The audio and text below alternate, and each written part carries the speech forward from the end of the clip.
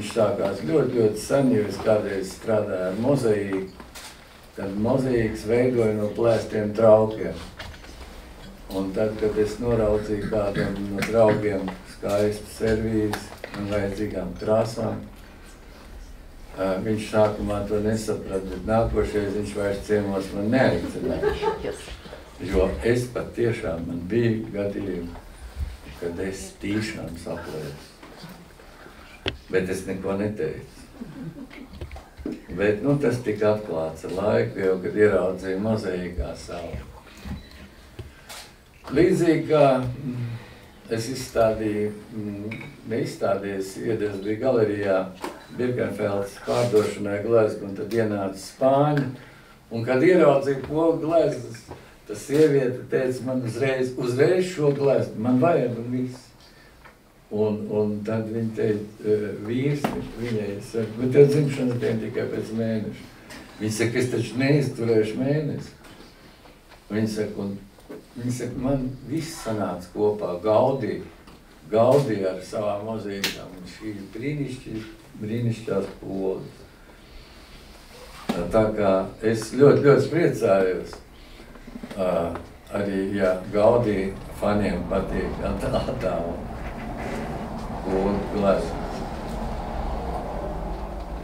Un uh, ko es vēl varētu teikt par pogām? Neko es par gleznu nevaru izstāstīt, tāpat kā dziesmu nevar izstāstīt. Tur katrs atradīs pats sevi sev tīkamo. Un arī šovakar es domāju tā, ka jūs jau atnācāt klausīties ne jau mani. Jūs klausīsieties katrs pats sevi. Es varētu būt tikai provokatīva iedvesma šim pasākumam, jo vairāk kā jums ir dots, es nevaru iedot. Jums viss ir. Jūs esat ļoti labi noformēti. Jums ir sirds, jums ir dvēsele, jums ir skaidrais saprāts, iespējams kaut kur arī mīlestība, kaut gan es nezinu, kas tā ir tāda. Es visu laiku mēģinu atklāt pats pie sevis, ir tāda mīlestība vai nav.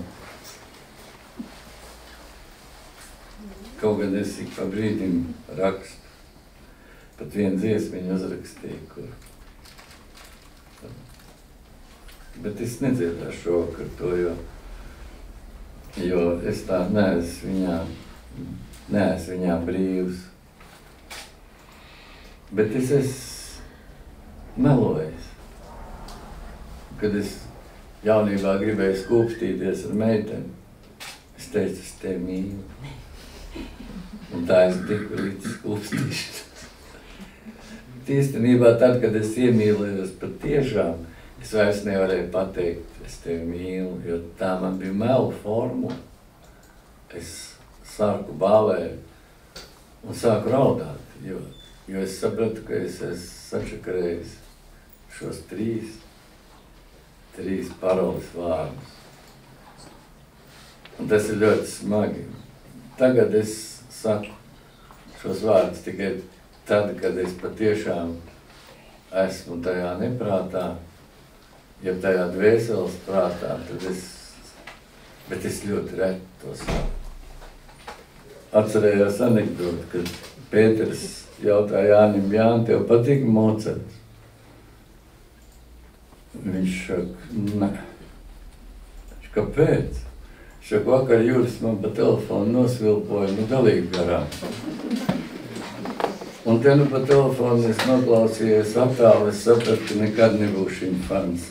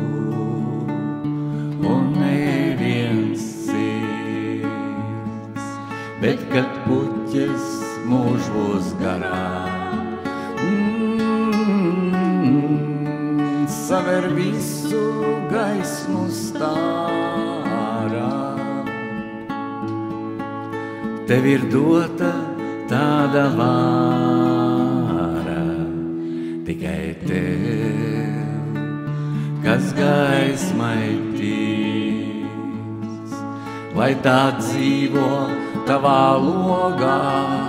Mm, lai tā tumsas acīm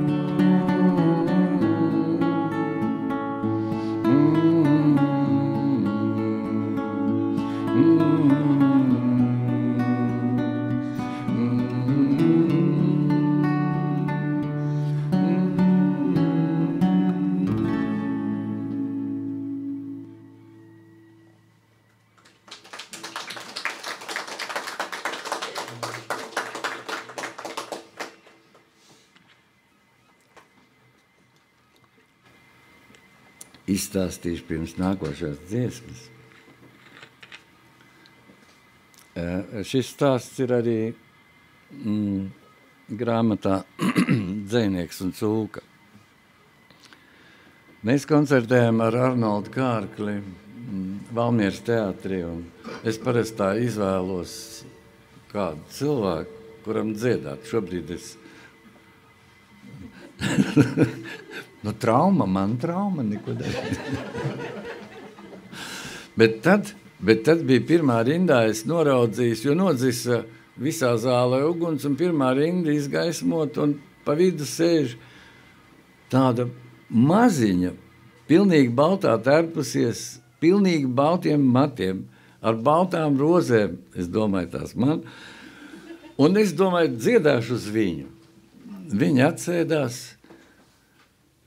un aizvēra acis, un jau puskoncertā es domāju, ārprāts, vai viņa guļ, vai varbūt mirusi.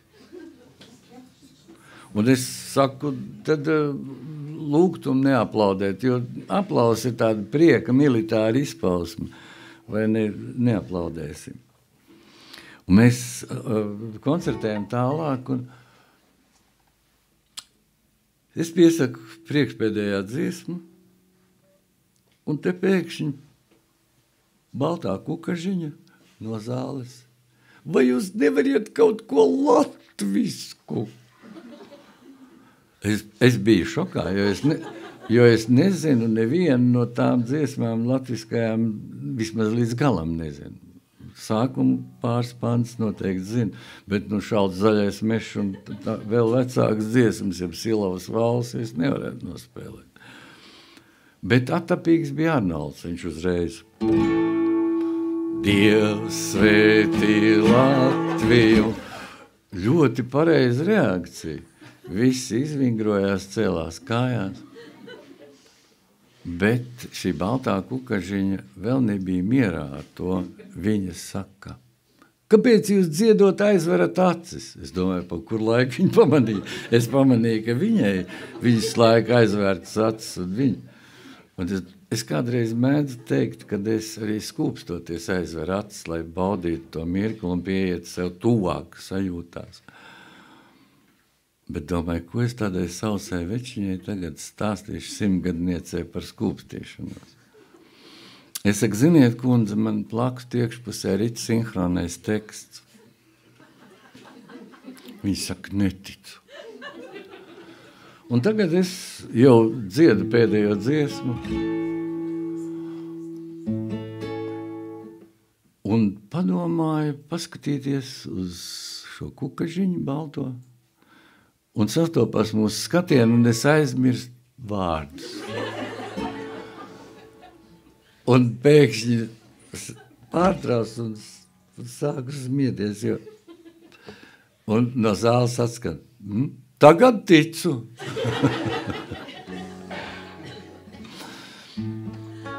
Jā, tā, tā redzi, arī tā gadās. Tā kā ne, nevienmēr, nevienmēr vajag aplaudēt.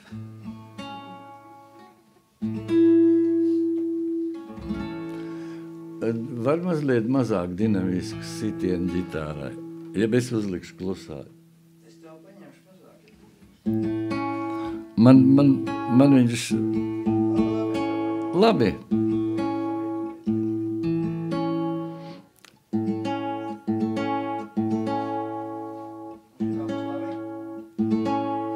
Jā, pavisam labi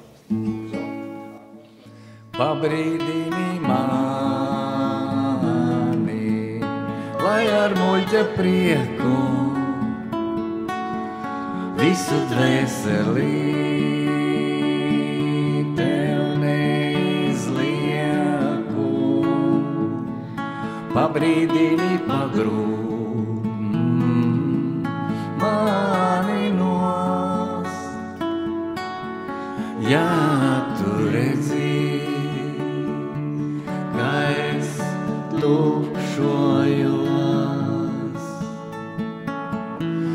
pavisam nepalieku es bez dvēseles, jo to atbildību nes tāpat kā es. Lai pavisam nepalieku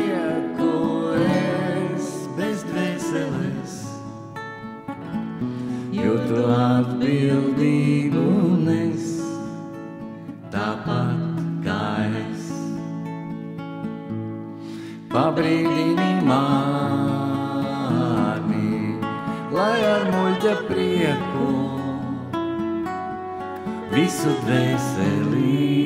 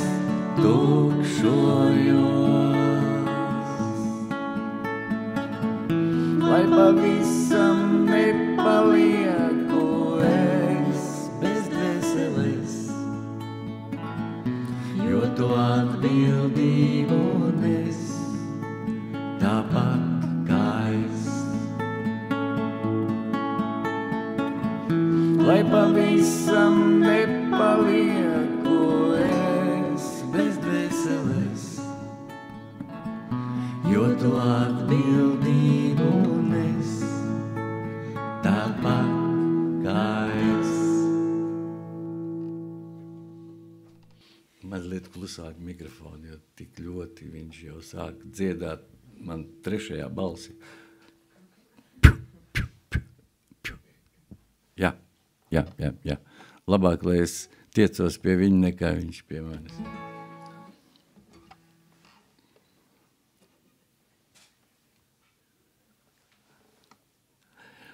Klavieres krūmos. Es tev, Kaspar, aicinu palīdzēt man. Es, es tā kā esmu stihisks un nemēģinu nekad īsti. Tas ir dziedi, dziedi, kamēr jaud šito čigāniskais, čigāniskā melodija. Jā.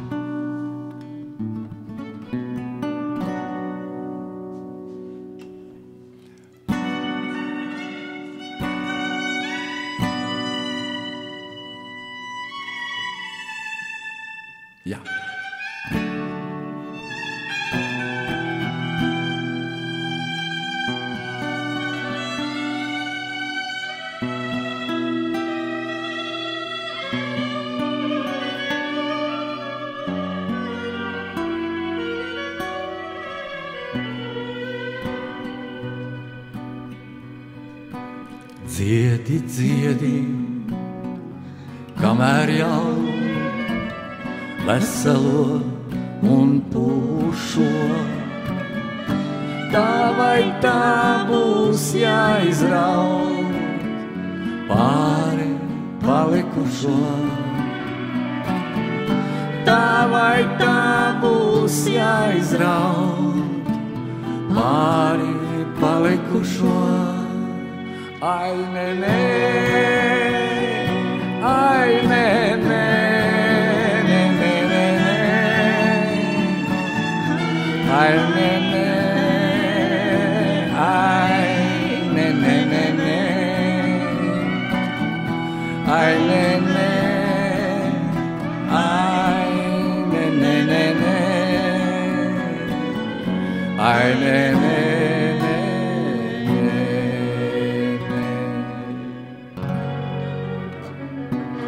šī skumjā dziesma skan, sirds vēl dziedāt jaudā.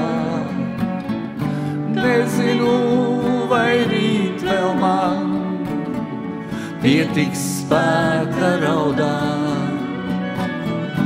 Nezinu, vai rīt vēl man pietiks spēka raudāt.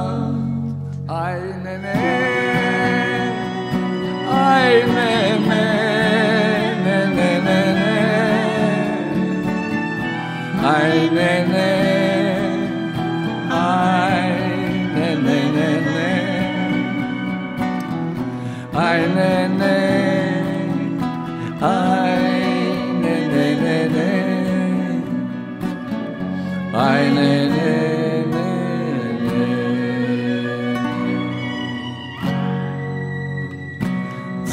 Dziedi, kamēr jau veselu un pušo. Tā vai tā būs jāizraud pāri palikušo. Tā vai tā būs jāizraud pāri palikušo.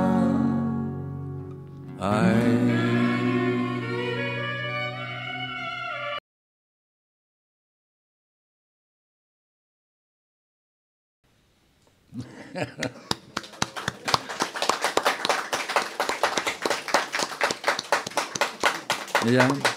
Paldies, paldies. Redz, kādās improvīzēs mēs esam. Improvīzēs.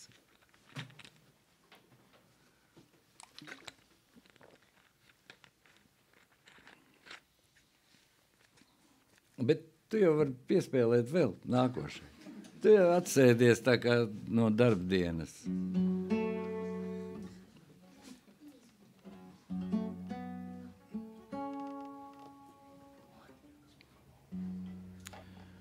Elpo ar sirdī.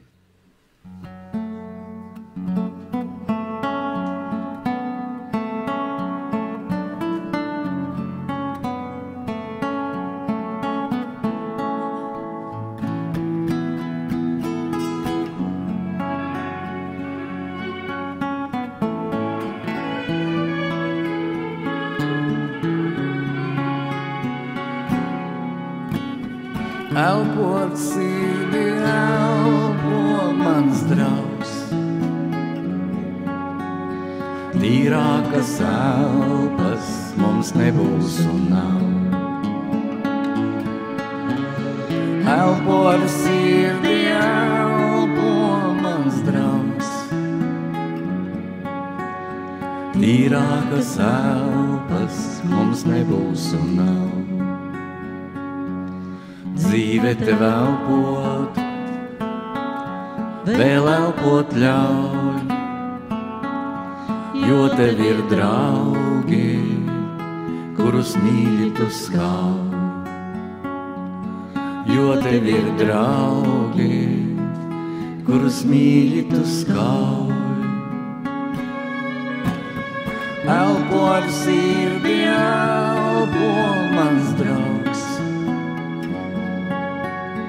tīrākas elpas mums nebūs un nav. Elpo ar sirdi, elpo mans draugs. Tīrākas elpas mums nebūs un nav. Aiztraucas laiks, pat ja pulkstenis stāv Tu atveries glāstam, bet drauga vairs nav. Tu atveries glāstam, bet drauga vairs nav. Elpo ar sirdi, elpo mans draugs. Tīrākas elpas mums nebūs un nav. elpo ar sirdi, elpo mans draugs. Tīrākas elpas mums nebūs un nav. Dzīve tev elpot, vēl elpot ļauj, jo tev ir draugi, kurus mīļi tu skauj jo tev ir draugi, kurus mīli tu skauj. Elpo ar sirdi, elpo mans draugs. Tīrākas elpas mums nebūs un nav. Elpo ar sirdi, elpo mans draugs. tīrākas elpas mums nebūs un nav. Tīrākas elpas mums nebūs un nav.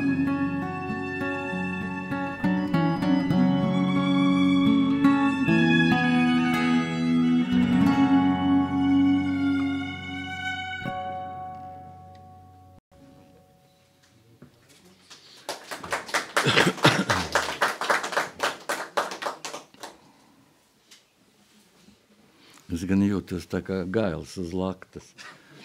Es, man tik grūti dziedāt, kad es sēžu tādā, nu, uh, jā, uz laktas.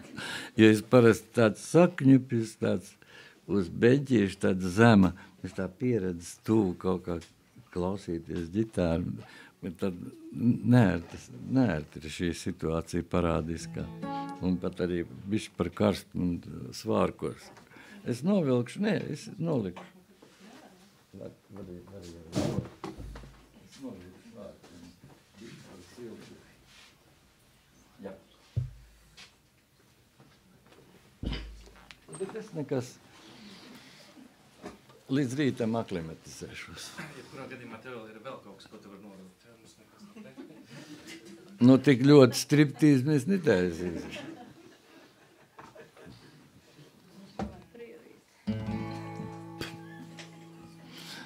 Man, man kaķa, kaķa zīda šo kaklautu, jo man šeit ir visu valstu karogi, arī Latvijas karogs ir, bet visu valstu, kuras es, es apmeklēju šajā visumā. Un tie ir mani valstu karogi.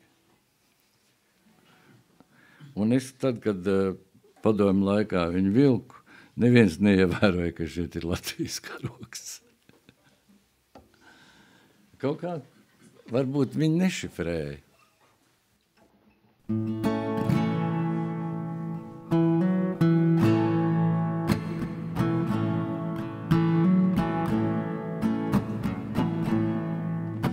Man nevajag nekā, nekā no jums. Es esmu savas vientulības sēde. Jā, es kā bērns, kas glāsta neapjums. Man nevajag nekā, nekā no jums. Jā, es kā bērns, kas glāsta neapjums.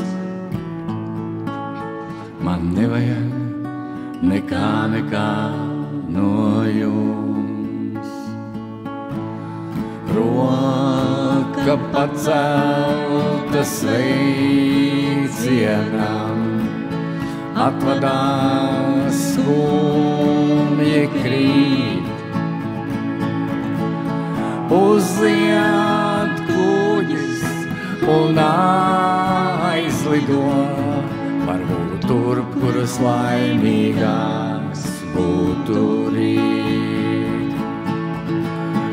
Uzliet kuģis un aizlido, varbūt tur, kuras laimīgās būtu rīt.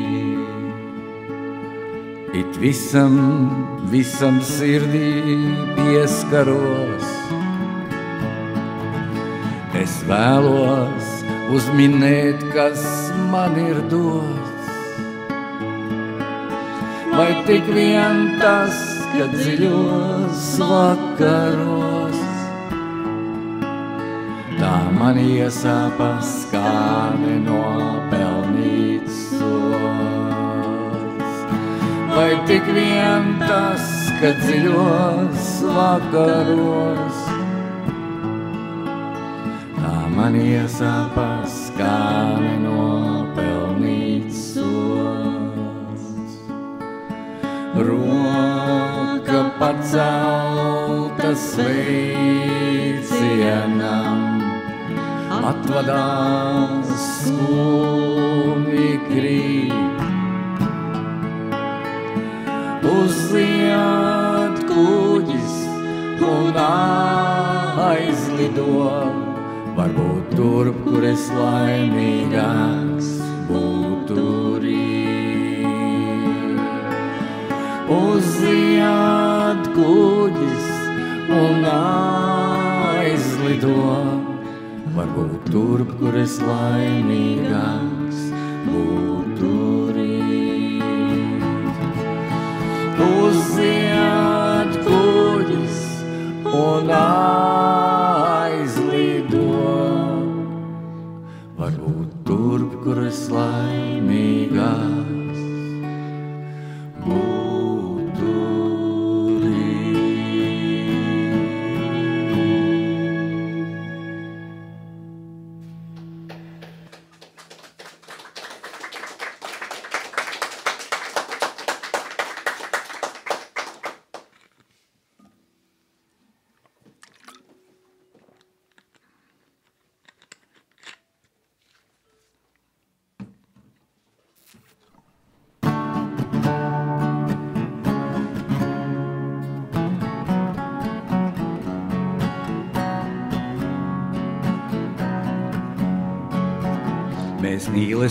sējam vējā, bet paskaties, kā viņa aug. Tā laikam griba apusēja, kā esam mēs viens otram draugs. Mm. Kā esam mēs, kā esam mēs, kā esam mēs viens otram draugs.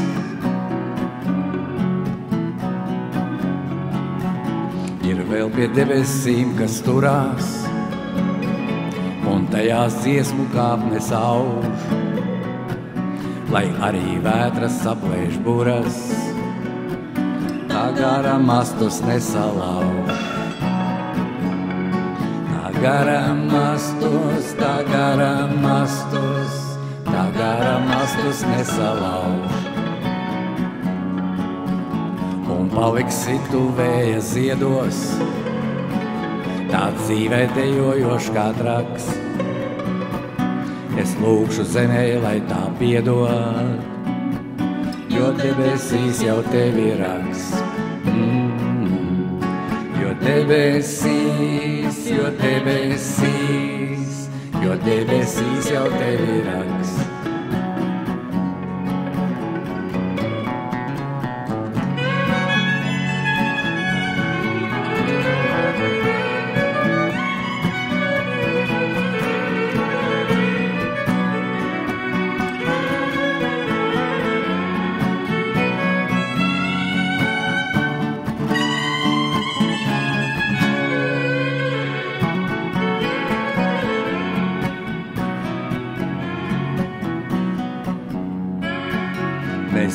Mīlestību sējam vējā, bet paskaties, kā viņa aug.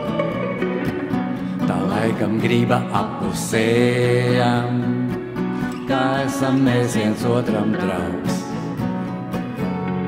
Kā esam mēs, kā esam mēs, kā esam mēs viens otram draugs.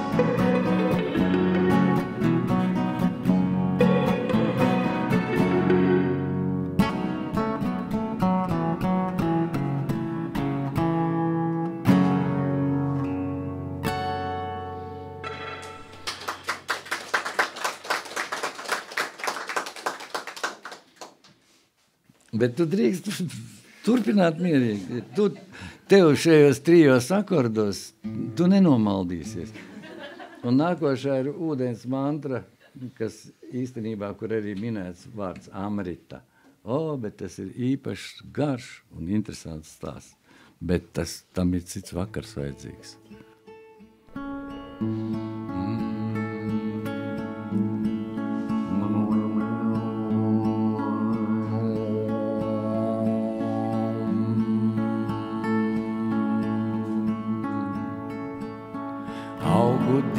dienu saulīt rotā, rotā.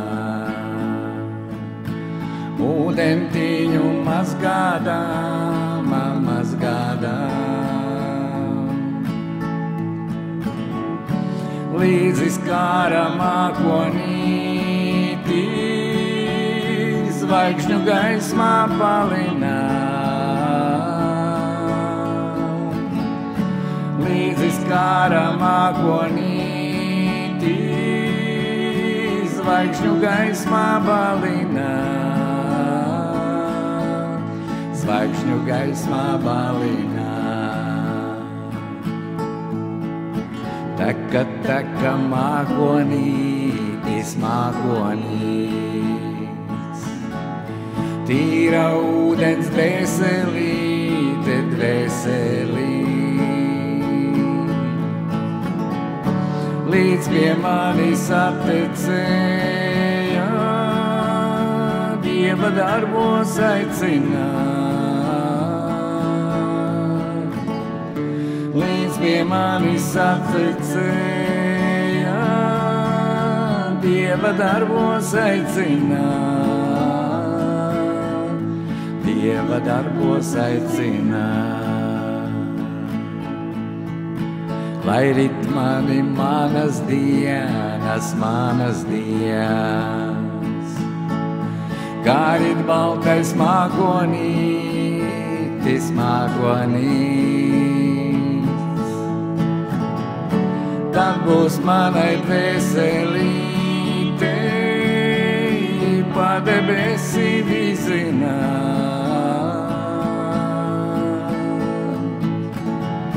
Tad būs manai dvēselīte, pa debesi vizināt. Debesi vizināt. Riti, riti, ūdentiņi, ūdentiņi. Līdzvērtiesi amritā, amritā. Līdzvērtiesi amritā, Dieva bērnu slutināt līdzvērtiesi amritā, Dieva bērnu slutināt. Dieva bērnu slutināt. Dieva bērnu slutināt. Dieva bērnu slutināt.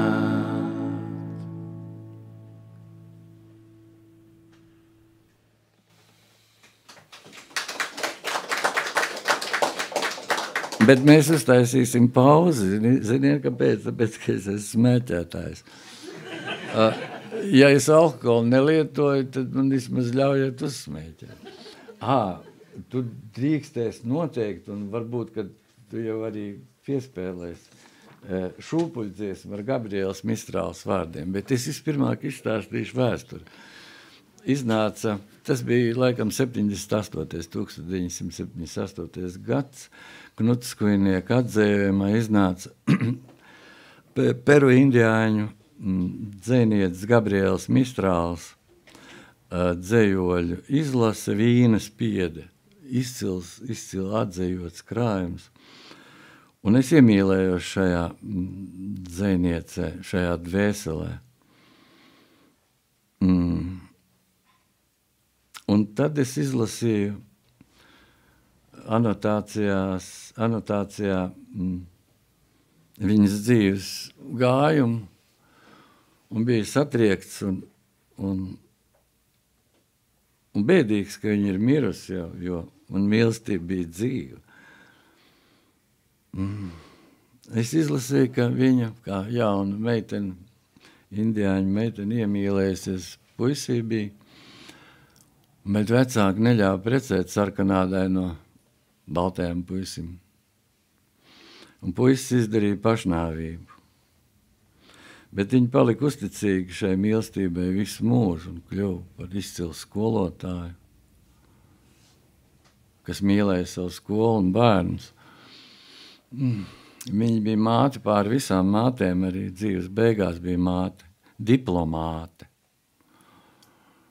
Viņa ir arī Nobelprēmijas laureāta literatūrā tieši par dzēju.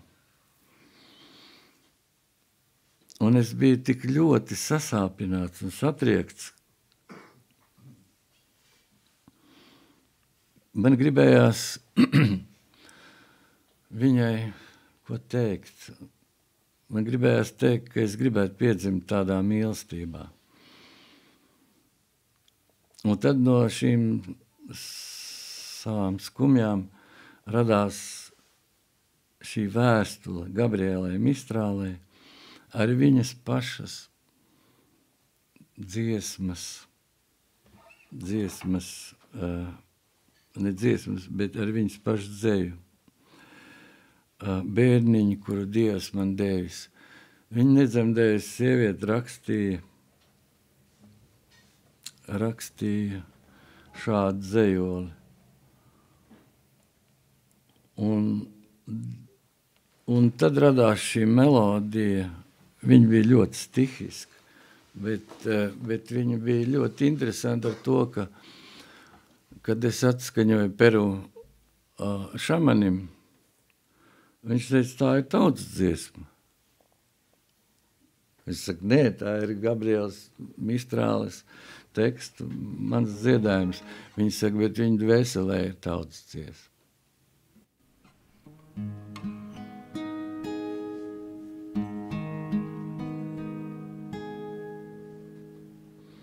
Bērni, kuru Dievs man devis, savā klēpī nesā. Pūciņ drebošā un smalkā, dusi pieglaudies man klāt. Ir beaboliņā klausās, sirds tai drēb un nevar stāt.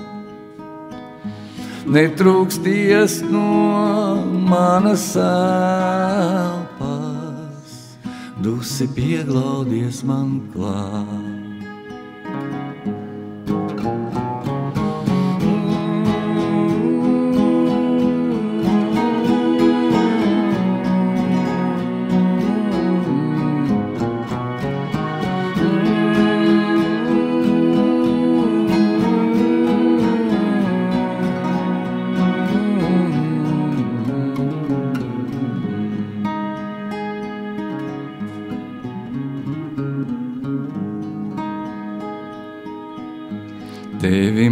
Manu stiebriņu sīko, dzīves vējiem purinā. Nelaid vaļā manu krūti, dusi pieglaudies man klāt. Viss man zudīs, nenāk sapnīs, spirdzināt un mierināt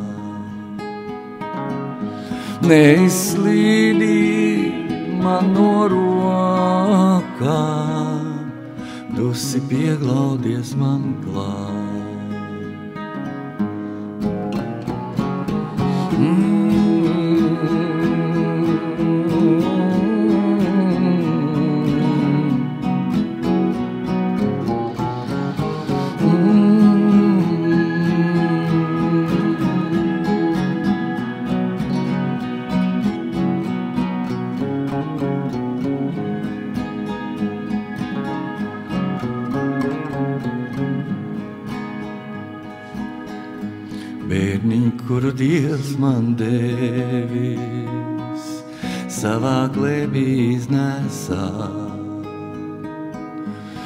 Pūciņ drebošā un smalkā, dusi pieglaudies man klāt.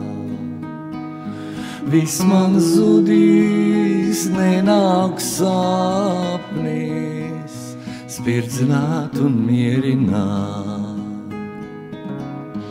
Neizslīdī man no rokā, dusi pieglaudies man klāt.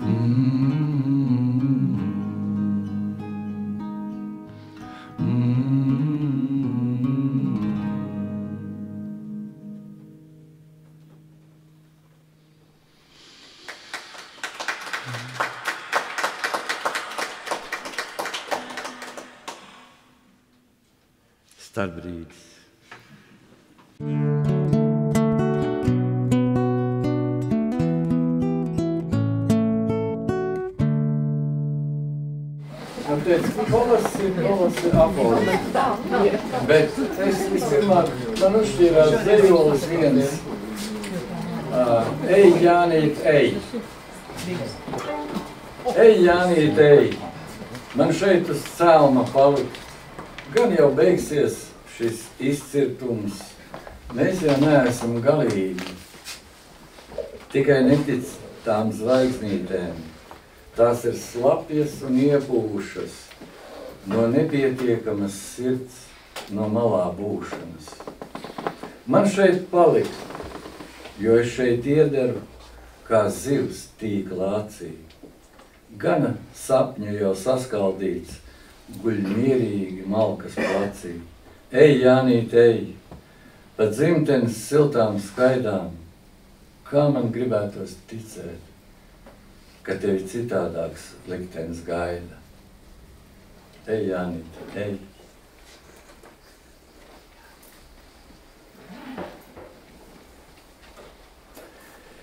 Jā, tie dzējas, es varbūt var, var kādā brīdī atgriezties. Katrā ziņā man ārkārtīgi patikās. Jaunībā gribēju uzrakstīt dzējoli kaut kā tādu erotisku par seksuālo līriku domāju, nu, bet kā es lai rakstu, lai viņi nopublicētu. Nu, tur jābūt notiek kaut kādiem kombainiem, traktoriem, smagajiem dzimtenes mālam. Un uzrakstīju. Ja es būtu traktors, es tev nodziedātu. Gluži kā uz pakalna. Kaut ko tādu, kaut ko tādu dīvainu, ko tev dzirdēt vienai. Gribētos tev piederēt tā kā darbanienai. Es kā vagu ijāku nevarētu to izteikt, tikai tev, lai saprastu, jābūt traktoristiem. Dzirdēt dzīlē pukstošāk loķvārdus to glani, lai līdz vītnei pēdējai iemīlētu mani.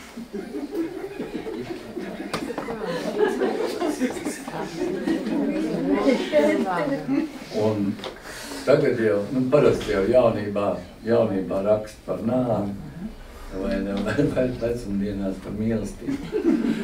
Un, un es atcerējos šo dzēju, domāju, bet jābūt ir kaut kādam predmetam šodien, šodien, ar šodienas garšu. Un es domāju, nē, jocīgi, es tā uzrakstīšu, pirmais būs sašutums, jo, ja tas dzējos skanētu Indijā, visi uzreiz, vai ne, godevīgi paklonītos, bet jau pirmā rinda ir tu govs. Tu govs. Un reizē arī sviesta ciba, kur savu sviestu sapņo mīlestība. Kad augums sāc un skudras saganītas, tu visu sevi salēji piena ceļā, bet es kā siena zārda ribas pa smilgai krājos, jaunai mīlestībai un priecājos, ka augums atkal ceļas.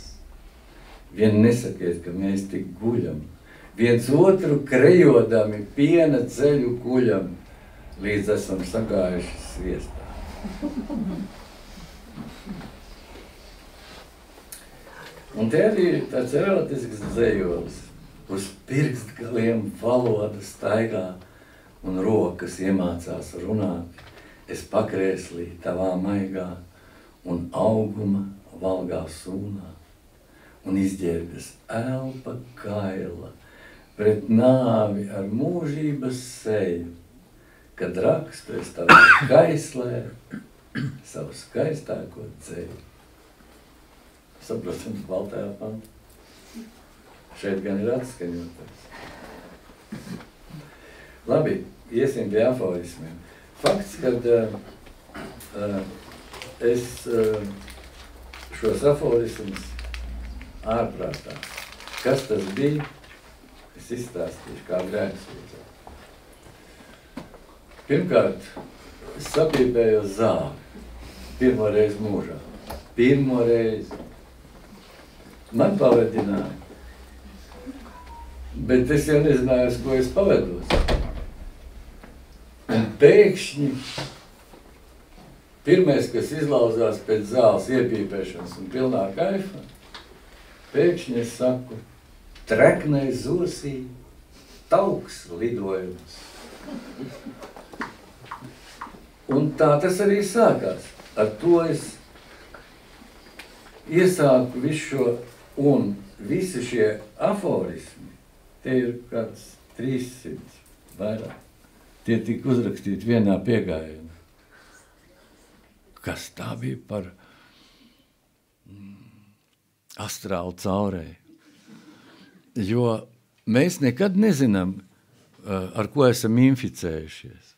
Vai ne tur, kaut kur, kaut kādā tālā smadzeņu nostūrī, kur, nes, kur sargā obligātā skleroze, pēkšņi skleroze ir kaifā un palaiž visu ārā.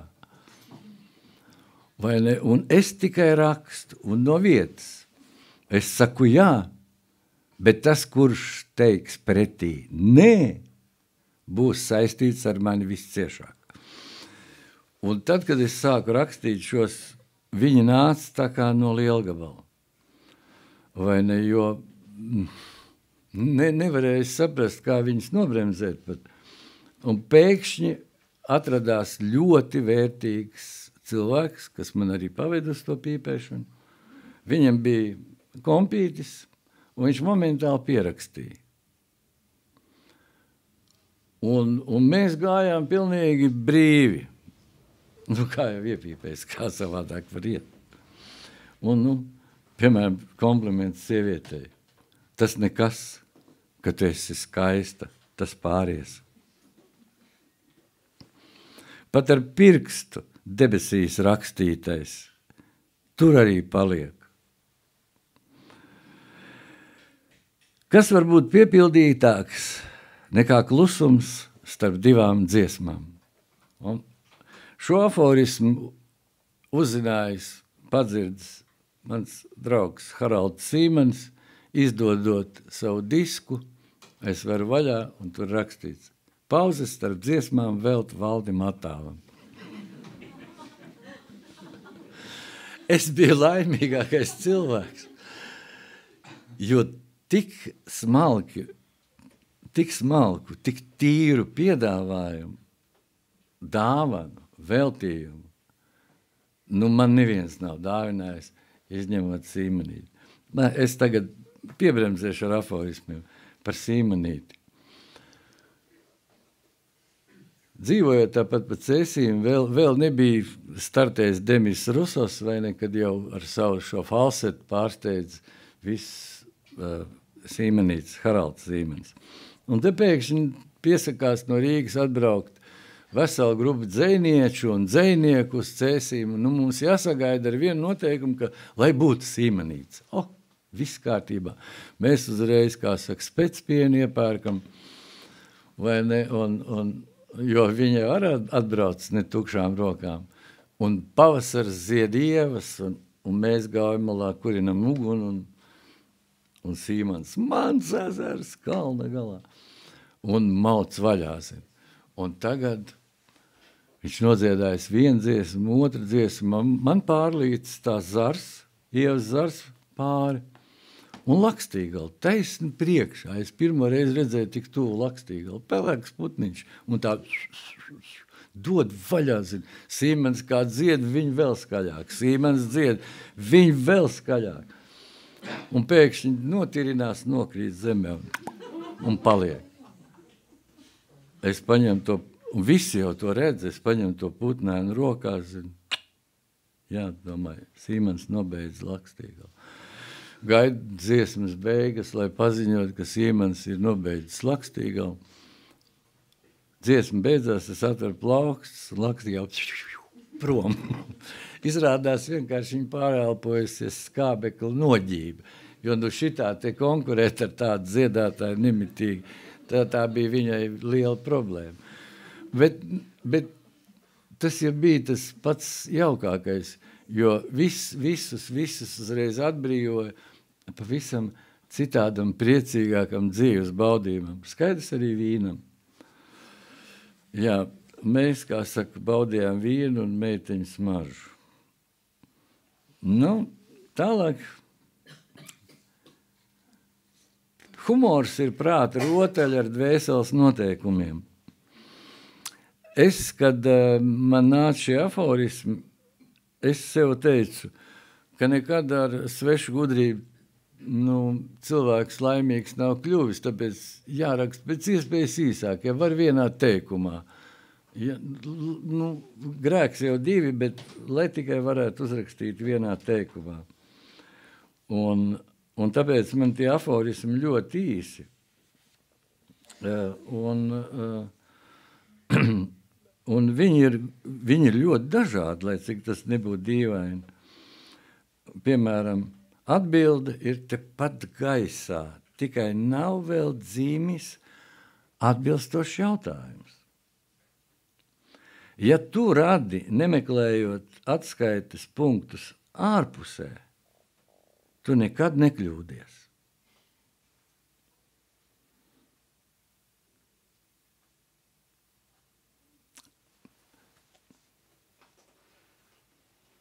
Es esmu iemācījies melot tikai sievietes dēļ. Cik dīvaini, ka muļķība arī ir gudrības mērs. Runā daudz, bet pasaka retais. Visbiežāk mēs esam laimīgi to nezinot. Ja kāds teica, ka latvieši ir cūkas, neliedziet viņam to prieku piepulcēties.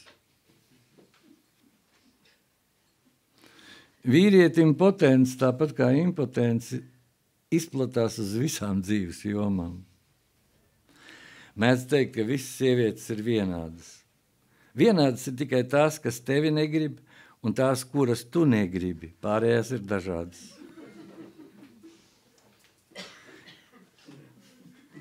Ja tu sevi nemīli, kāpēc man tas būtu jādara?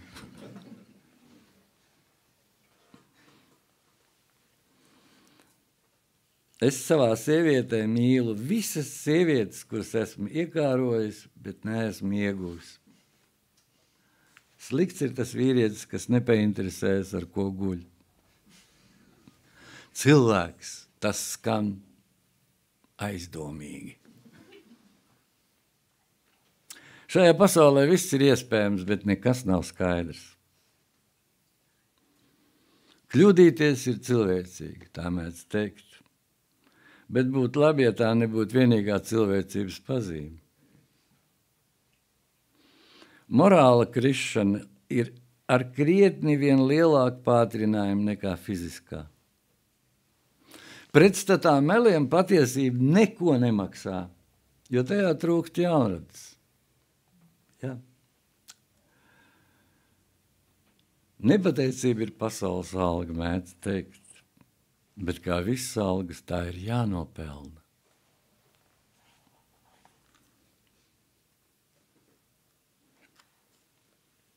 Grūti ir atcerēties to, ko nezini.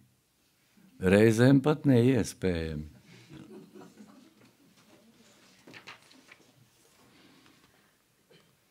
Ja tu esi mana nelaime, es droši zinu, ka tu nepaiesi man garām.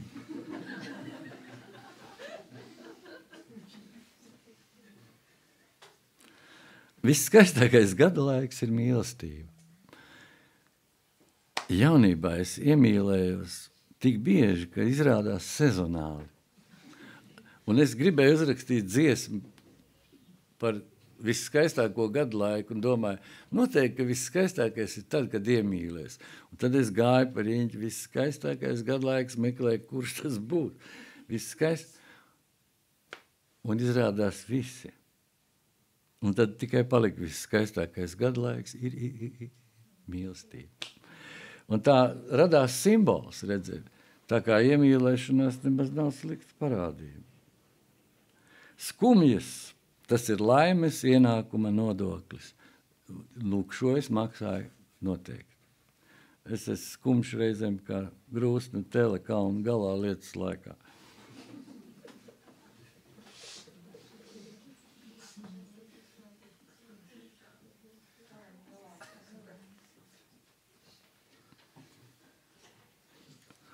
Un dažs smējās, smējās, kad es uh, nolasīja aforismu. Pati labākā māte ir mīlošs tēvs. Visi domā, ka tā ir humors. Es domāju, debesu tēvu.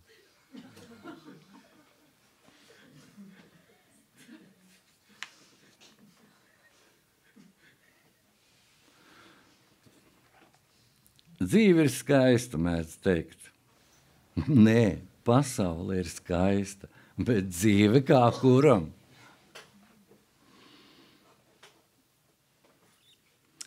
Pat vislabākais valsts vīrs nevar līdzināties luksuforam.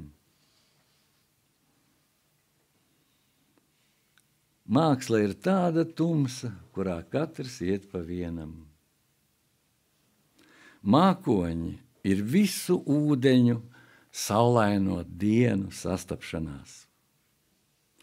Vien mīlestības atmiņā palikušie mirkļi ir dzīve. Ja tevi pamet draugs, esi vēl draugs.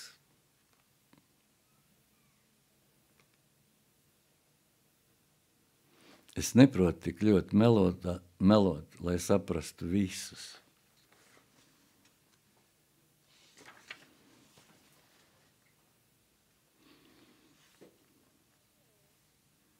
Filozofija tā ir jautājuma radīšanas zinātne. Dīvaini, ka tur, kur manis nav, es sev nepietrūkstu.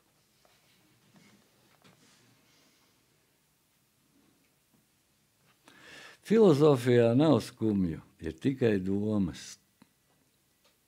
Ja tu domā tieši tāpat, tas nenozīmē, ka mēs nevaram kļūdīties. Dzīve var kļūt par ilgušu un sliktu ieradumu. Koķetēt, tas ir luncināties ar visu sevi.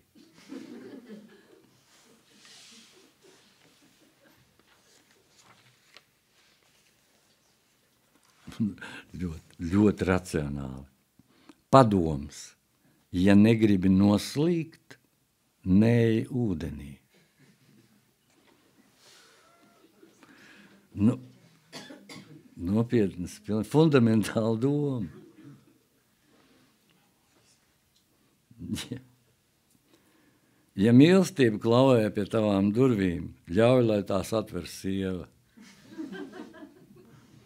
Trīs lietas, ko nedrīkst pārtraukt - lūkšana, dziesma un seks. Seko man, es nekur neiešu. Cilvēks viļas cilvēkā, nevis mīlestībā. Ja jaunība ir kļūda, to ar gadiem izlabo.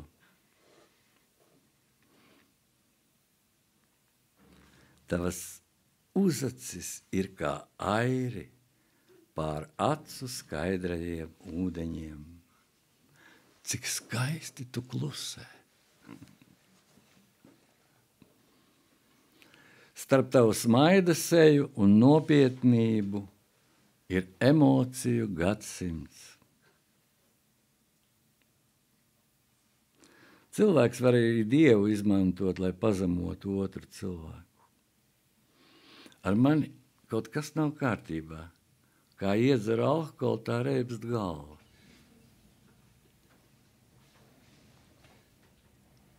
Vēsture atkārtojas, tu secini, kad kārtējo reizi iekāp sūdā. Politiķim, ja muša ir virtuvē, tas uzreiz nenozīmē, ka tā ir pavārs. Tu man saki, esi optimists. Kāpēc man vēl uzņemties tavas problēmas?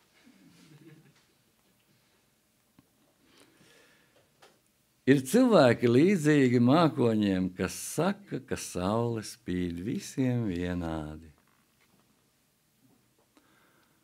Cilvēkam reizēm ir viens kājas par daudz, lai būtu laimīgs. Tu tici, kādam dievam gribi, bet nepārmet man to. Daži apgalvo, ka dzīvo ar baznīcas krūtīs Bet tā visu mūžu izrādās remontā. Kad tu klusē, es tevi ļoti labi saprotu. Vējš nepūš, vējš dzīvo. Prieks prot realizēties, jautrība vienkārši izsīkst.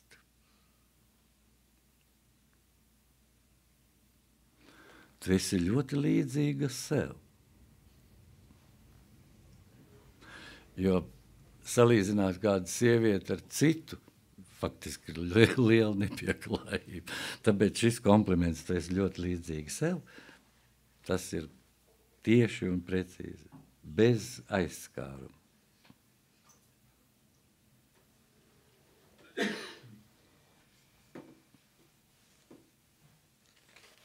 Vai te ir tik daudz, vai ne?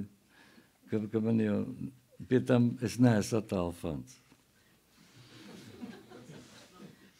Debes, debes stāv kaila, bet neviens nekaunas uz to skatoties.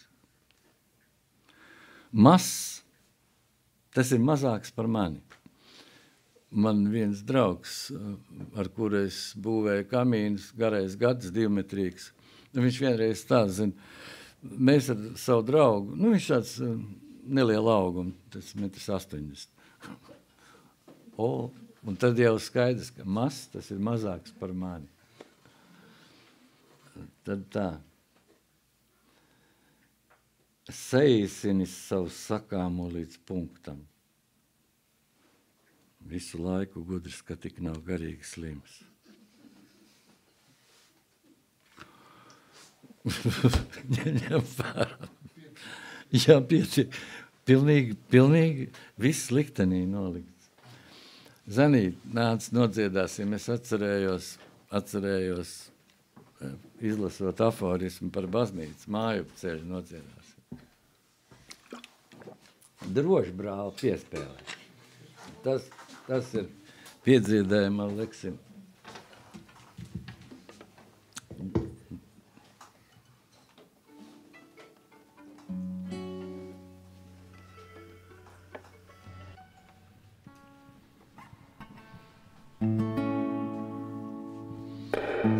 Sakrīt zediņi, virmo gaisi, aizaug ar mīglu un akmeņiem. Aiziet pelnos, dūmos un gaiputnos, tie, ko mīlam un tie, ko nemīlam. Vēl es esmu un tu vēl esi, un mēs viņpus apvāršņa smeļam. Vai mēs uzspēsim, vai mēs spēsim uzcelt baznīcu māju ceļam, uzcelt baznīcu māju ceļam. Sausām acīm mākoņu ganībās, kādas ātras un dīvainas vērtības Tā mēs aizejam bez dieva palīgā, jaunā tālē un jaunā verdzībā. Vēl es esmu un tu vēl esi, un mēs viņus apvāršņa smeļam. Vai mēs uzspēsim, vai mēs spēsim, uzcelt baznīcu māju ceļam, uzcelt baznīcu māju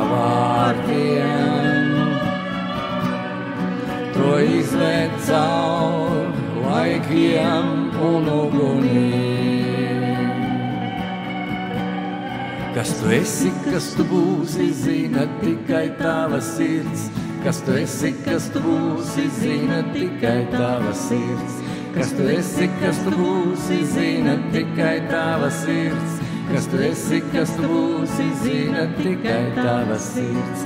Kas tu esi, kas tu būsi, zina tikai tava sirds. Kas tu esi, kas tu būsi, zina tikai tava sirds.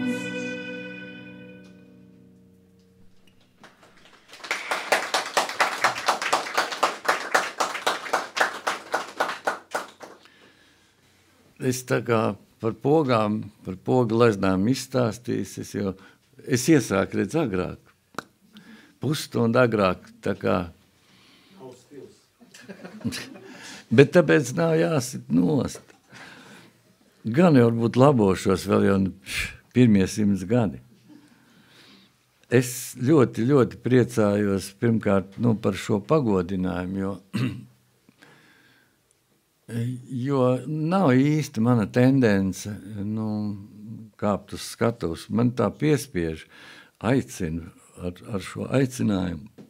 Man ir piespiež, bet man ir patīkamāk. Uh, nu, piemēram, seks tirgus laukumā arī nekāds seks neiznāk. Man patīk dziedāt tad, kad tas ir tik intīmi kā skūpstīties. Un tad, tad tas tik dīvaini, skaisti viņš dziedina. Viņš kaut ko dziedina, vai mīlestības trūkumu, vai, vai padara cilvēku godīgāk. Es nemaz nezinu, ko viņš dara. Es zinu, ka tas ir brīnums. Bet man publiski ir ļoti grūti, jo es pirmkārt neesmu dziedātājs, man jāsāk viet vietums atdarināt dziedāšanu. Un tad vēl es neprotu spēlēt ģitāru. Uh, tas arī uzliek pienākumu kaut kā klibot, kāju pievelkot, ja izlikties klibam. Man bērnībā bija tāds šausmīgs sāpēs zopas. Iztaigāja visas māsas, brāļus, vecomāt, vecotēvu. Zopas sāp. Nu, neviens pat nepievērš uzmanību. Pēkšņi es izdomāju. Man pieci gadi bija. Es eju kāju pievilktos, kliboju. Uzreiz omīti saka, Kas tev, kas tev valdiņ? Es saku, zops.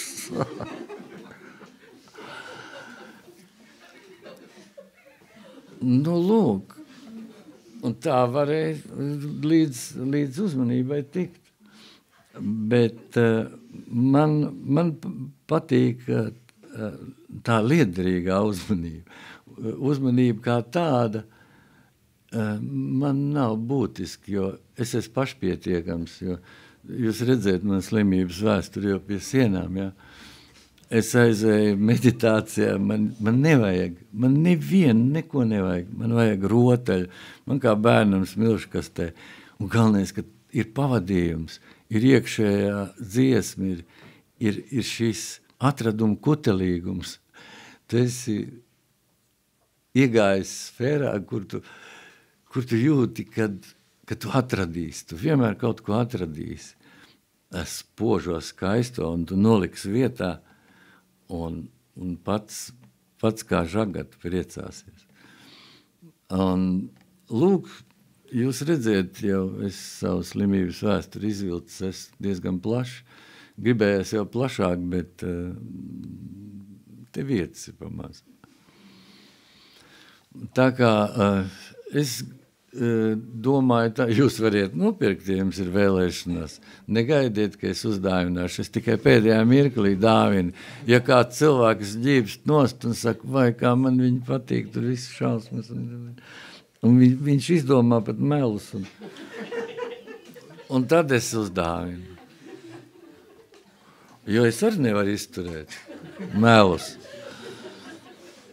Bet nedrīkst, nedrīkst dāvināt tādas gleznas, kas nepatīk bezgalīgi cilvēkam, jo viņam jābūt kā mīlestībā, pilnīgi viss viņš izšķīst un pagalam. Uh, jo Man patīk mans skolotājs, mēmēs skolotājs, reku viņš sēž, kuram es par tulku esmu.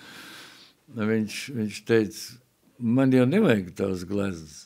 Es aizēju, paskatos, ieņemu un aizēju. Nu, viss, es esmu stāvoklī.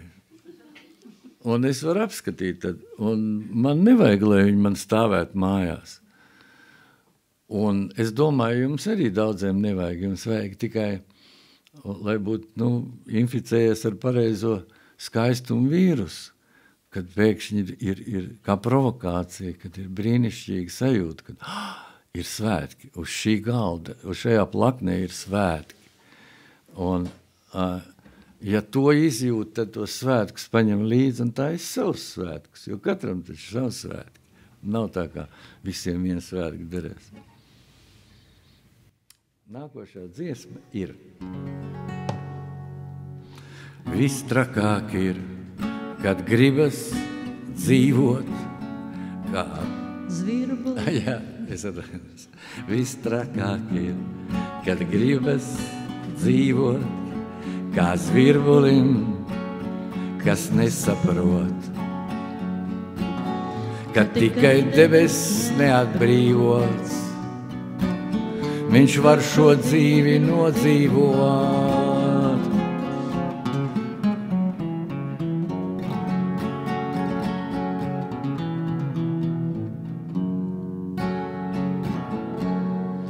Ej ceļu šo, ej ceļu šo, ej ceļu šo, kuru iet tavs sirds.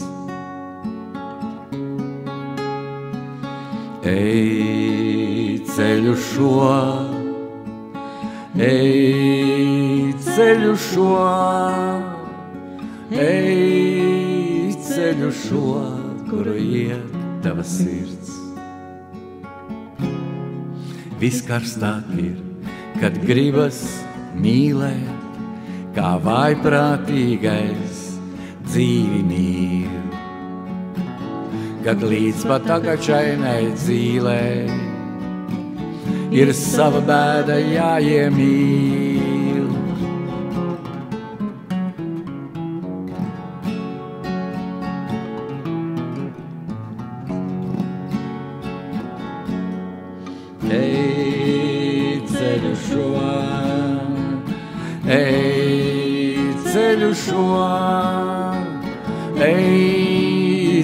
Ceļu šo, kuru iet tava sirds. ej ceļu šo, ej ceļu šo, ej ceļu šo, kuru iet tava sirds. Visgrūtāk ir, kad vajag piedot, kā šķila piedot ugunī. Tik gaiši aizejot, kā dziedot, par to, kas nepiedodams bija.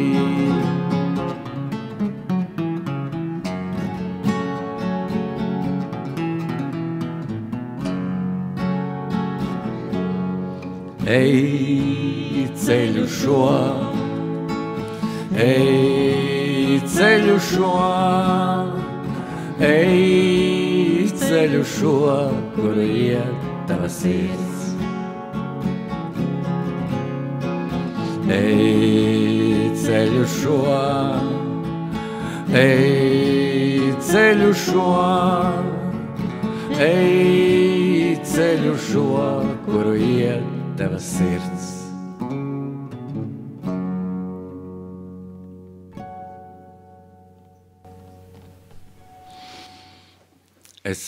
Pēkšņi te sajaucu spēlējot, tāpēc, ka man ienāca prātā, ka es jau es to teicu, ka es esmu gluži kā kāds kardioklīnikas reklāmas aģents. Man ir 18 dziesmās vārds sirds. Redz, izvairoties no vārda mīlestība, es pilnīgi kļuvu, kā saka, anatomisks. Sirds, kāpēc ne aknas, ne plaušas, ne nieres? Sirds. Es tieši tāds pats, kā jūs, kas uzzinājuši vārdu mīlestība.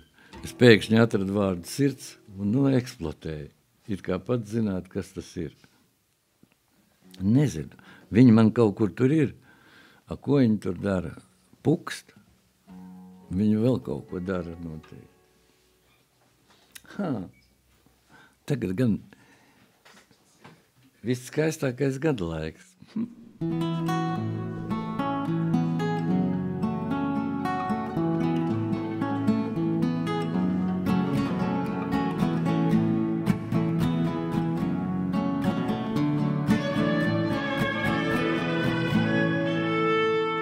Viskaistākais gada laiks, viskaistākais gada laiks, viskaistākais gada laiks ir mīlestība. Viskaistākais gada laiks, viskaistākais gada laiks, viskaistākais gada laiks ir mīlestība. Es nezinu, ko vakars klausās, bet zinu es, ko vakars dzird. Tu savas lūpas tā kā ausī, pie manām lūpām kā pie sirds.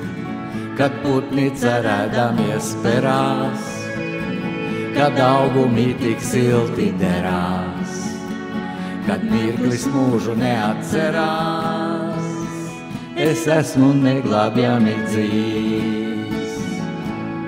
Viskaistākais gada laiks, viskaistākais gada laiks, viskaistākais gada laiks ir mīlestība. Viskaistākais gada laiks viskaistākais gada laiks, viskaistākais gada laiks ir mīlestība. Visi kopā. Viskaistākais gada laiks, viskaistākais gada laiks, viskaistākais gada laiks ir mīlestība.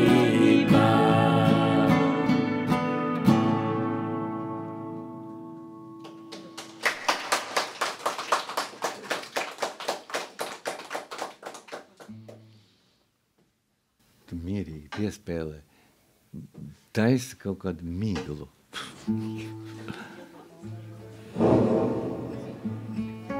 Nē, nē, nē. nē. Nekā, nekā no tevis neatmīnu. Viens liežu dumoņa, kas sniegi snieg.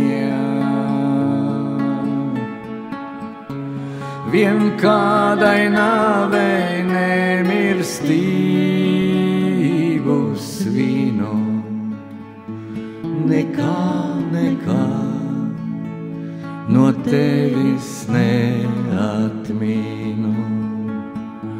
Nekā, nekā no tevis neatmīnu.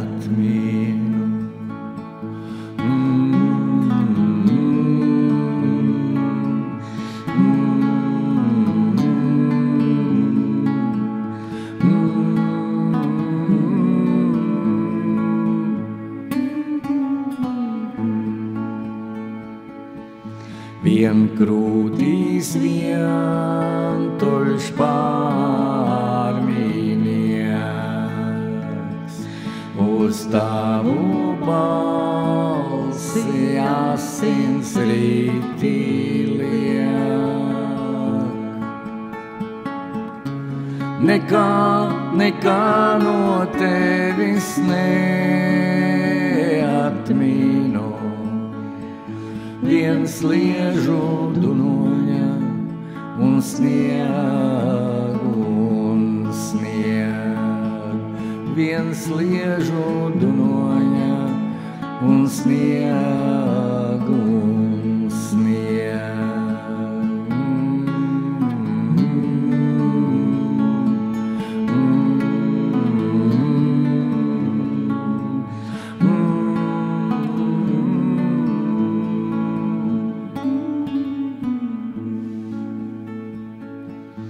Nekā, nekā no tevis neatmīnu. Viens liežu dunoņa, kas sniegi snieg. Vien kādai nāvei nemirstību svinu, nekā, nekā no tevis neatmīnu.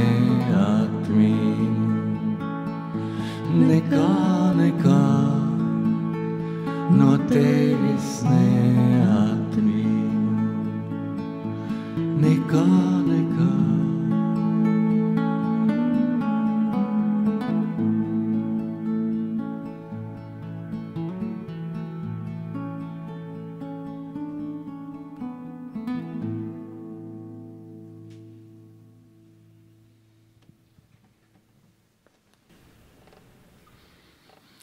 Nākošais gabals es kad izdevu projektu Piektā debesis puse, atmiņas par pazaudēto dievu. Pēkšņi mans mēmais skolotājs teica, a kur tad tavu pirmā dziesma? Un tā tā pirmā tapa pēdējā projektā. Un tā dziesma īstenībā bija liktenis dziesma. Dzērves, manas dzērves. Skaidrs, privatizēja dzērves, manas dzērves. Bet tas notika jaunībā, kad vēl bija Volgas strūdznieks. Un Valmierā bija tāds krodziņš, kafēnīts, kapsētas malā, un to sauc par mironīti. Un mēs jaunie tur dresējām to Volgas strūdzinieku lēts, labs, sit pa galvu labi. Un tā vienā reizē pie galdiņa ar pudeles brāli, un viņš saka, Valdi, vai tu proti spēlēt ģitāru? Nu, es biju jau tā iedzērs, ka drīz ar lidmašīnu varēja vadīt. Ko te vēl ģitāru? Es saku, jā, tu ko te... Viņš saka, es tikko nopirku ģitāru, vai tu nevari uzskaņot? Un es sapratu, ka es iekritis esmu. Ojē. Viņš saka, aiziesim pie manis uz māju, tu uzskaņos. Un es domāju, kā es tagad no saviem meliem izkūšu. Mm. Es saku, ņemam vēl pāris. un ejam. Un es jau izdomāju, ka es iedzeršu jau no kakliņa, glāzes jau tajā laikā nepazinu. Un uh, tā arī darīju, jo, jo, kad es paņēmu ģitāru rokā, izrādās es otrādi paņēmu. Es uzsitu pa stīgām, viņi norējās, zin kā atlikušas stīgas, es sabijos. Viņš saka, tu krēls, es teicu, nē, nē. Viņš saka, a tad ko tad? Es saku, nevaru. Un es notēloju, ka es tur galīgi. Bet, nu, atgriezies mājās, es sirdsapziņas mokās, ārprāts, ārprāts, ārprāts. Un aizskrēju otrā dienā uz veikalu, nopirku par 7,50. bija Leņņģerads ražojuma ģitāra, septiņas stīdzeni. Un tagad, kur, kur kas man parādīs kaut kādus akordus, es skrienu, bet es nedzīvoju pilsētā, es dzīvoju ciemā, es pa ciemu skrienu un atrodu vienu. Un viņš man, o, oh, viņš saka, es jūrnieks, un viņš tagad man sāk šito te dot vaļā. Viņš saka, nu, mazā zvaigznīte vai ne trepe. Un tā viņš savos nosaukumos, nu, man, man vienalga vai trepe vai patrepe, galvenais, ka akords. Nu, un es, un es tagad iemācos tos akordus, nu, drillē, drillē, bet nezinu nevienas dziesmas. Un tad meži, meži, tumšie meži, ļaujiet man vēl padomā. Un tad čiepiņas tev dāvināšu, un vēl kaut kas tur, vēl kaut kas. Un nu es drillēju tā, ka tūlznes uz pirkstiem. Un jau pie sestdienas es jau ar savu ģitāru ierodos. Un, nu, kā lai tā nesvētīja, vai ne šī, šī tāda svinīga mirkli, atkal strūdzinieks. Un viņš saka, bet man ģitāra tu uzskaņos. Jo, redziet, Valmierā bija tāda nu, erogēnā zona, uh, stikla šķiedras meiteņu kopmītnes. Un viņš bija notēmējies uz šo erogēno zonu, viņam ļoti vajadzēja apgūt ģitāru, aši kā ieroci. Aha. Un tagad mēs ierodamies mājās, skaidrs, kad mēs korķējam vaļā un viss ir labi. Un, Un tagad es jau čiepiņu nodziedāju divreiz un trīs reizes, vai ne, meži, meži, un, un viņš saka, un ko, un viss?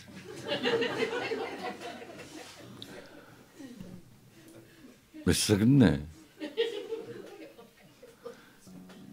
Un tā kā no kaut kādas atklāsmes grāmatas es iedzēru no pudeles, un sāku dziesmu.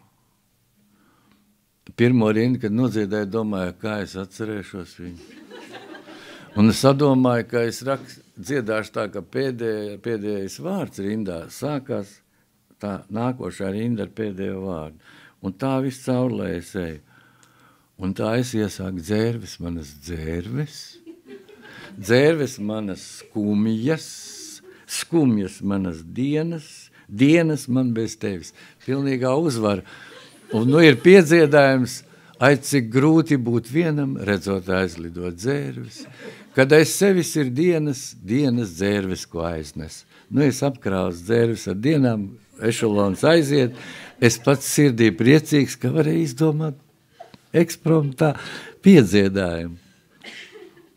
Un nu tagad jau raudu. Dzērvis jūs aiznesāt dienas, dienas jūs atstājāt sāpes, sāpes saka atstājiet sirdi, kā dzērvis spēlīgs tas atstāja. Nu, ko vēl labāk, kā vilciens atgājis no stacijas. Un nociet šo dziesmu, skatos, viņš sēž un raud.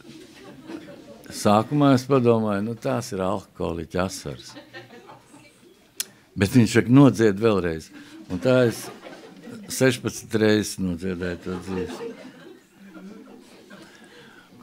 Un to dziesmu ierakstīju kā pēdējo projektā, bet es tagad... Tu mēģini improvizēt, tas mierīgi. Dzērvēs, manas dzērvēs, dzērves, manas skumjas,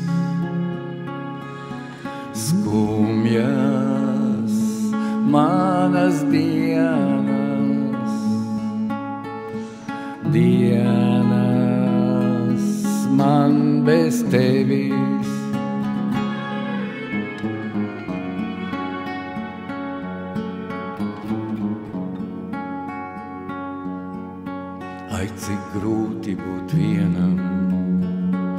redzot aizlidot dzērves, kad aiz sevis ir dienas, dienas dzērves, ko aiznes.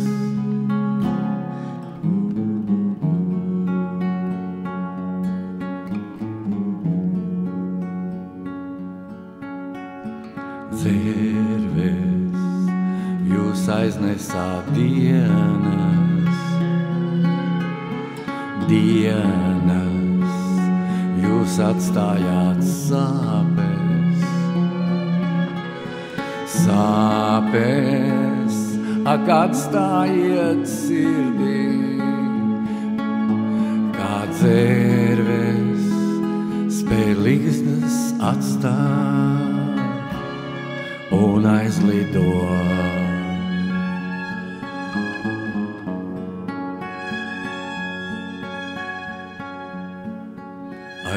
Grūti būt vienam, redzot aizlidot dzērves, kad aiz sevis ir dienas, dienas dzērves, ko aiznes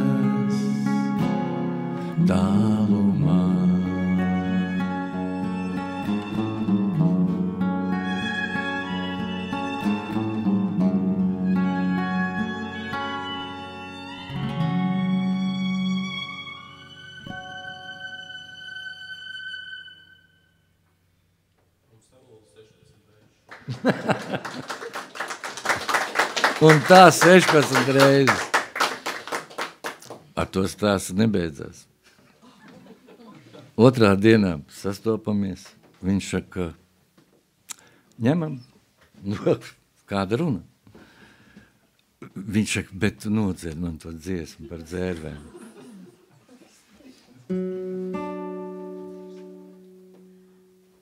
At, mm, atkal aizlido dzērvēs pārklājumiem, ne tukšiem. Es jau kaut ko dziedu, citu jau dzējoju. Viņš nav tā. Saprotu, es jau līdz pusē jau saturējos jaunu dziesmu jau par privatizētām dzērvēm. Un viņš man pārtrauc, bet, bet viņš ne tik stingri pārtrauc, jo es turpināju un, kā redz, ir vēl dziesmas. Lai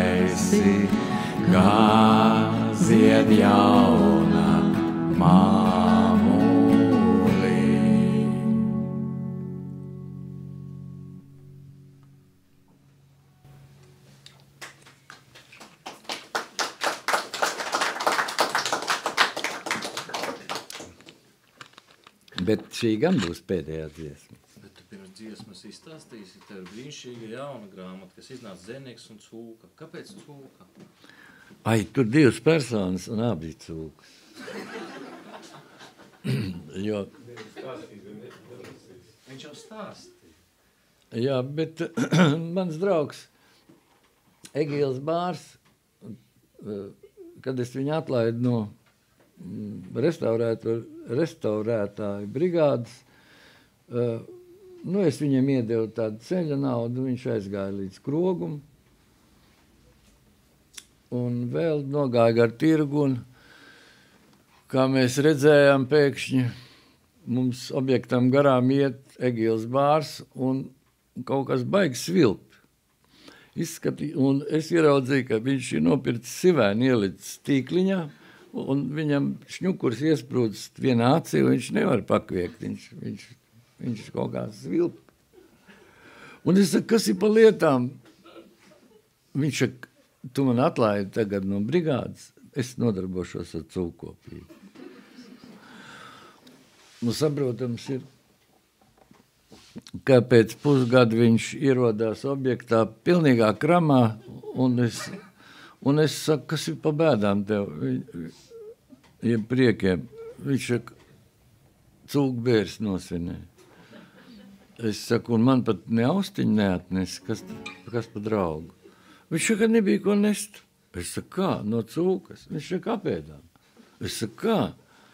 Nu, Viņš saka, es jau tā paaicināju kāvēsim, paņēmis trīs polšus, bija sākumā ierāvām, tad aiziet uz kūti, viņš saka, kur tad tā cūka? Šis, saka, bārs saka, skaties aiz silas, aiz silas. Viņš saka, ka tas taču pavisam mazs bērniņš. Viņš saka, jā, man laikam ieskapēja pundurcūku. Vai ne? Nu, nekā nav. Viņš saka, tu būtu viņu nožņauts, ja paņēmis klēpju un nodūs. Ko tas kāvēja sauc? Nu, viņš saka, nu, nokāvām apēdām un, un tagad es tā, vai nesvinu. Un lūk, es, es gan viņam teicu, redz, brālīt, tomēr, lai arī saka neviena, bet cūkopībai un cūcībai baigā atšķirība ir. Jo izrādās, ka viņš pat dzerot šņābi, pat zaceni nebija dalījis ar viņu. Nu, nu, nobadinājis to cūku. Un tāpēc jau arī, bet nu, tai grāmatā ir humoristiskie stāsti ļoti dažādi. Viens, pieņemsim no tiem, es izstāstīšu to pašu garo gati. Garais gatis, divmetrīgs, viņš tāds. Un mēs braucām, man uzaicināja, cienījumā dzēnieku uzaicināja uz uh, Gulbenes uh, biblioteku saviesīgu vakaru uh, sarīkot ar mūziku, ar, ar dziedāšanu, ar dzēju. Un es pa ceļam jautāju Gatim, garais, vai tu kādu dzējoli prot no galvas? Es turēju aizdomās, ka viņš ir šajā ziņā anal analfabēts. Viņš saka, nē. Es saku, Raini, nē. Vedemam, nē. Es saku, Natāli, arī nē, kā pārā. ar viņš šoferis. Un, un es, es saku, Gati, tu, tu izlabosi šo kļūdu. Reiz pēc visām reizēm. Jo būs, ot, tā kā bērnībā, uzkāps uz ķeblīšu un nolasīs dzējoli. Jo man bija jau plāns uzreiz gatavs. Jo es zināju, cik zem griezt ir bibliotekai vecajā mājā. Un es ašumā sacerēju dzējoli, kas īstenībā ir bez atskaņām. Es saku, gati, mācies, kamēr, kamēr braucam. Un es viņam diktēju. Kad es izaugšu liels, liels kā ceļam krāns, un skaists kā ugunsdzēsēja mašīna, es jūs pacienāšu ar ķiršiem, ar gataviem ķiršiem no visaugstākā ķiršu koka, pirms strasdiem. Es zināju, kā tas viss izskatīsies, kad garais gads uzkāps uz ķeblīšu, un viņš tā kā pie pirmās rindas, kad, viņš, kad, kad es jau pieteicu viņu, viņš atpakaļ gaitā uzkāp uz, uz tās savas sēdvietas un tā pie griestiem. Pie pirmās rindas, kad izaugšas liels kā, kā ceļam krāns, viņš tieši tā arī palika ceļam krāns un piesarcis no šī savu pārsteigumu sev un citiem – ka piesark un, un pie vārdiem skaists kā ugunsdzēsēja mašīna bija. Vai ne? Un saprotams, ka tas bija, tā bija vakara nagla. Es jau sapratu, ka divmetrīgi vīrieti var sievietes, kā saka, noliks pirmā vietā un tuvākajā plānā nekā vienkārši ļaļaļā maz vīriņu ar, ar, ar, ar stāstošu balsi. Bet jā, viņš kļuva par vakara, vakara visievērojamāko viesi. Un viss sieviešu uzmanības bija viņam. Tā kā nevienmēr vajag mācīt saviem draugiem dzēju.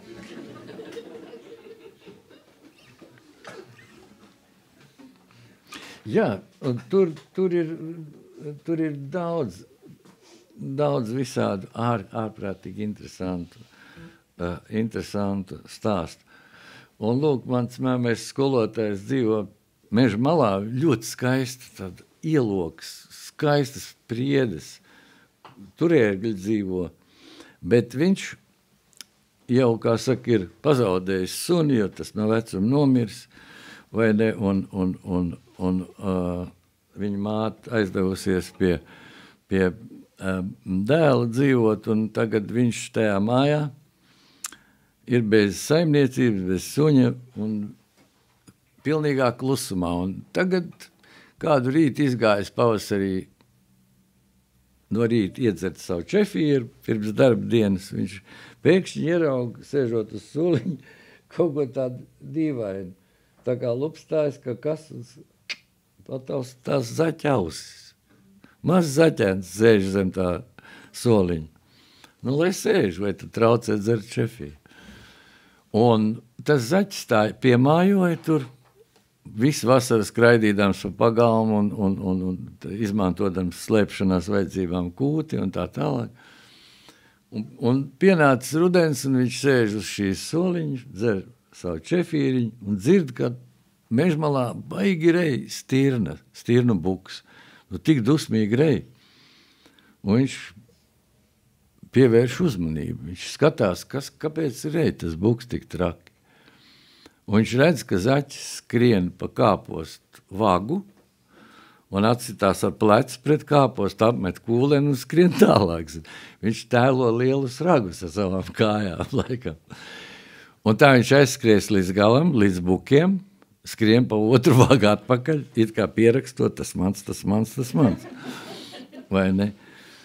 Un, Un tā viņš redz, nosargāja to kāpostu lauku no bukiem.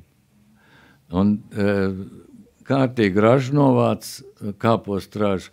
Un man palika tikai viens secinājums. Ja mēs būtu kā tas zaķis, vai nekas māk nosargāt savus kāpostu laukus, savu dzimteni, lai viņu neapēd ragainie. Jā, it kā, bet, tā, bet tas ir stāsts izdzīves. Nevis, nu, tas izdzīves, bet ne no uzdzīves.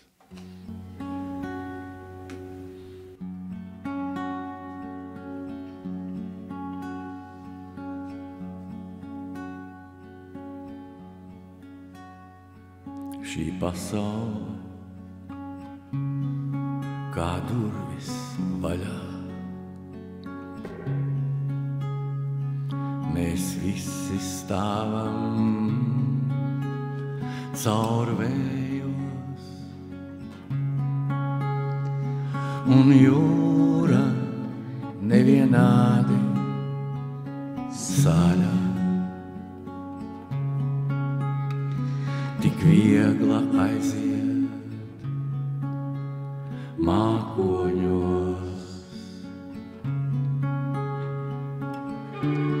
Es esmu mīlējis šodienu. Es esmu mīlējis šodienu. Es esmu mīlējis šodienu. Un, un nevajag man vairs nekā.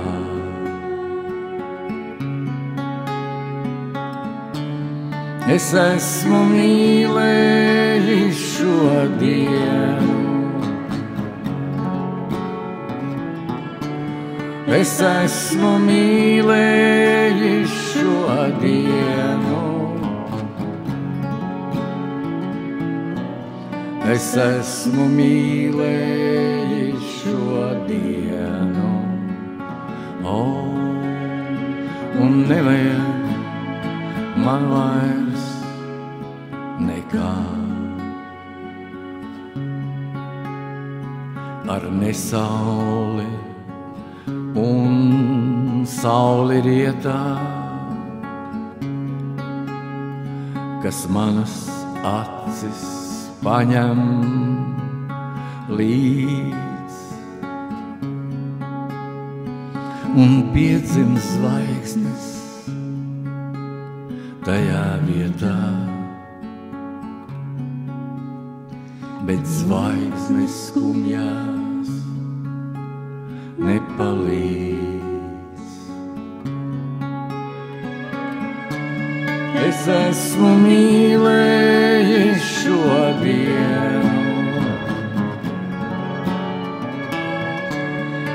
esmu mīlējis šodienu. Es esmu mīlējis šodienu. Oh, un nevajag man vairs nekā.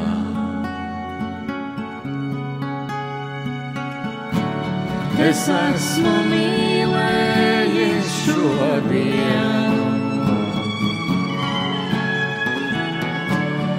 Es esmu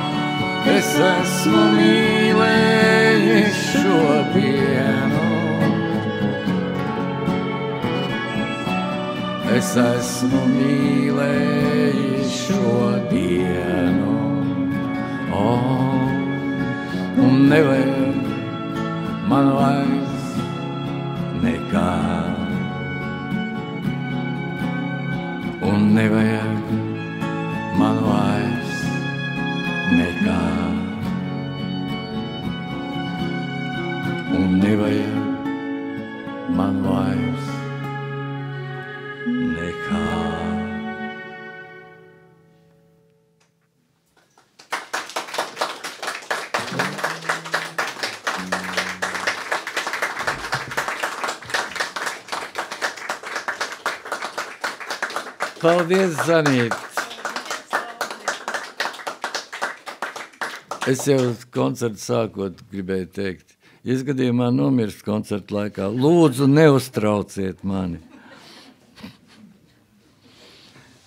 Jo, jo, jo, jo pirms es devos koncertēt, man iespēja pretsāpju spricīt, tā kā es uzskatu, ka es esmu izturējis.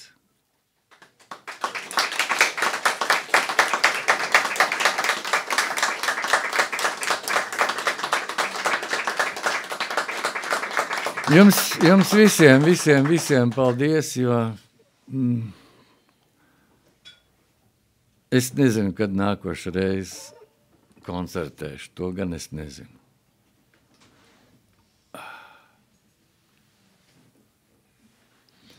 Viss!